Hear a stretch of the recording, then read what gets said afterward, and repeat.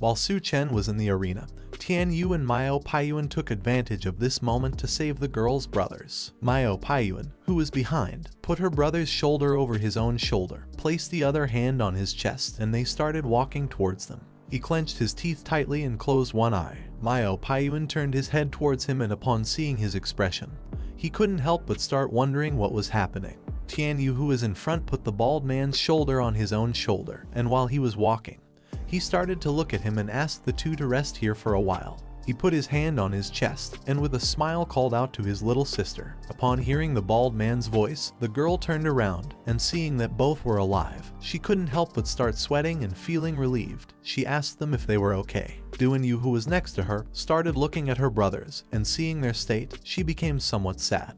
The girl's brothers approached a little, and to prevent her from worrying they began to smile. With a cheerful look the bald man thanked her because if it hadn't been for her, they would have already lost their lives. The girl approached Duan Yu, gave her a hug and with a sincere look revealed to them that in reality it had been Su Chen who had saved them.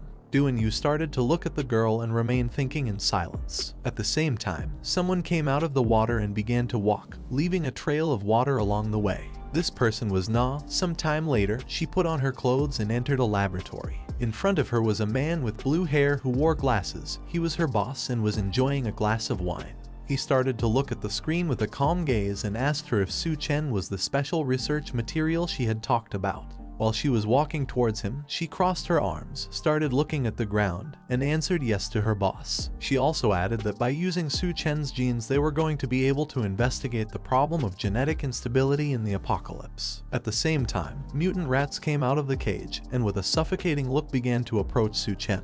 He simply put both hands into his pants pockets, started looking at the ground and remained silent. Na's boss explained to her that these mutant rats had been created using the latest technology, so they were bigger and fiercer than before. He slightly turned his head towards her, and with a calm look revealed that Su Chen was going to die here. For him, Su Chen was not worthy of being special experimental material. He began to look at the screen, and upon seeing what was happening, he couldn't help but be somewhat astonished and start wondering what this power was. Three mutant rats came out of the cage and prepared to attack, but Su Chen wasn't going to let that happen. Just before the rats had time to move, Su Chen drew his dagger, started running at great speed and in the blink of an eye attacked the rats, cutting their bodies into pieces, causing them to open their mouths and start screaming in agony. Upon witnessing this, the bald man was in shock. He began to look at Su Chen with a surprised look.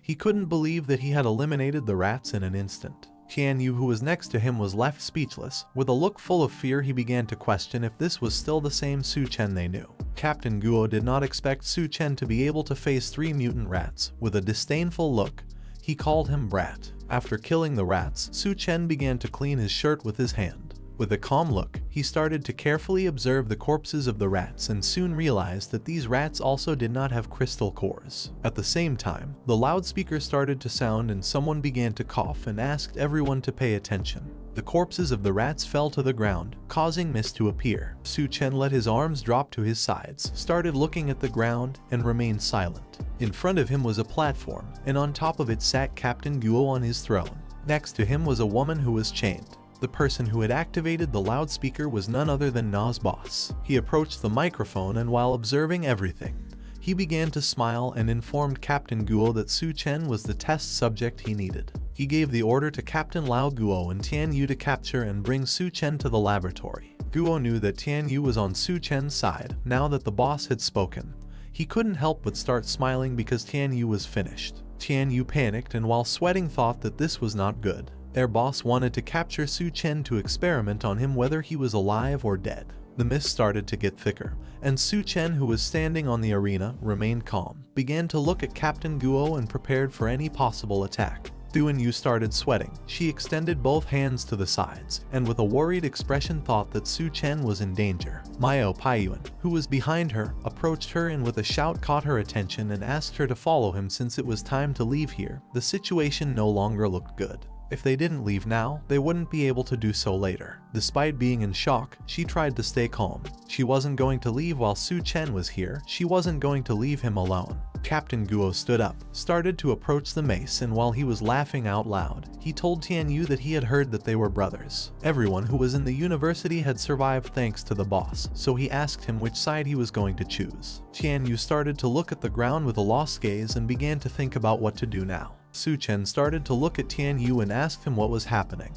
He raised his head and with a calm voice explained that their boss was named Liu Han who at the beginning of the apocalypse had developed a potion that could make people stronger. Therefore he was the person who controlled the university. With a serious look, he began to stare at the ground and revealed to him that the potion Liu Han had created drained one's life force in exchange for power, so once they no longer had the potion, they would become weaker than anyone else. Su Chen understood how Tian Yu felt, so with a cheerful look, he asked if he was willing to come with him if he told him that he had a solution to this problem. Tian Yu didn't even lift his gaze and apologized to Su Chen because he had no other choice. Upon seeing this, Captain Guo stood up and couldn't help but start laughing like a madman since he didn't expect to see a show today where two brothers were going to face each other. For him, this was very interesting. He began to stare intently at Tian Yu and with a smug smile, asked him to hurry up as the boss was waiting. He grabbed the mace, jumped, and while advancing towards Su Chen, told Tian Yu that it was time to get down to business. Su Chen started to look to one side and upon seeing this, decided it was time to get serious. At that moment, someone made a great leap and just before Captain Guo could approach Su Chen and attack, Tian Yu appeared and gave him a strong kick in the face and told him that today he did not want to choose. His kick was so strong that Captain Guo's heavy body shot towards the ground. Guo, who was holding two maces with his hands, crashed into the ground, causing him intense pain. Several seconds later, Tian Yu landed on the ground, and while he had one hand clenched into a fist, he removed his armor with the other. He began staring at him aggressively and prepared to strike again. Captain Guo, who was lying on the ground, couldn't help but start to get angry. He stood up, lost his composure, started shouting and asked if he was challenging the boss. Tian Yu's body began to emit a powerful aura. He remained calm and with a serious look told him that their boss was a rat who was only using the potion to control everyone. He turned his back on Su Chen and decided to fight since his life no longer mattered. Su Chen, who was standing behind him, was somewhat confused as he didn't know what was happening or why he was behaving this way. Duan Yu and Miao Paiyuan were somewhat surprised. Su Chen began to look at him with a cheerful gaze and with a smile thought that he hadn't changed at all. With a serious look, Tian Yu told Guo that if anyone dared to touch his brothers, then they would have to deal with him. Su Chen saw in him the same Tian Yu he had known in school. He gathered momentum, started advancing towards Guo, and prepared to attack. While he was holding the two maces, he stood up, and seeing that he was courting death, decided to crush them both together. Tian Yu approached him, clenched both fists tightly, adopted an offensive stance, and told him that he still had a long way to go before he could defeat him. He clenched his teeth tightly and just before Guo could do anything, he launched a chain of punches towards him, which began to impact against his body. Despite receiving a lot of blows, Guo continued as if nothing happened. He started looking at him and with a smile revealed that the boss already knew that he was going to betray him and for this reason had been giving him level 1 potions while he had been using level 2 ones. Upon knowing this, Tian Yu's expression changed drastically. He couldn't help but start sweating and remain in shock. Guo took advantage of this distraction, grabbed the two maces with both hands, raised them to the sky, prepared to attack and while his eyes were shining, revealed to him that his fat was the best defense. No one could hurt him. Using all his strength, Guo attacked him using the maces, but luckily Tian Yu reacted in time and caught both maces, avoiding death. However, due to the great difference in strength between them, he was injured. He opened his mouth and started spitting blood. The strength that Guo had was so enormous that the ground began to break into pieces, but despite this, Tian Yu grabbed the maces even harder, clenched his teeth tightly and decided not to give up.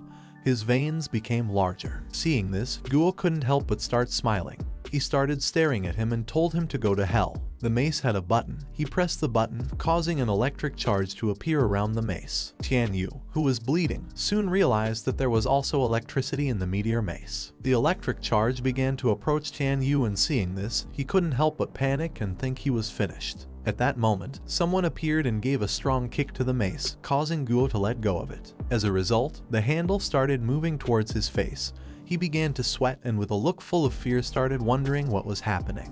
This person was none other than Su Chen. He placed both feet on top of the two maces and pushed hard, causing one to pierce Guo's eye and the other his chest. He mocked him by asking if no one could hurt him. Tian Yu was dumbfounded. He couldn't believe that Su Chen had actually managed to injure Captain Guo. Duan Yu and Miao Paiyuan were in shock and dumbfounded at the same time. They couldn't believe what their eyes had just seen. Liu Heian, who was observing all this from the laboratory, simply remained silent. This is the end of the video. If you guys want to see the next part, then don't forget to subscribe and like the video.